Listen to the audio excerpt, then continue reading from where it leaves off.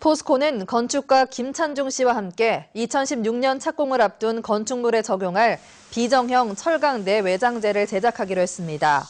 건축 재료 상용화에 앞서 포스코 디자인 솔루션 TF팀과 김 대표는 포스코 스테인리스 스틸 예술 조형물 스틸 이글루를 공동으로 기획 제작했습니다.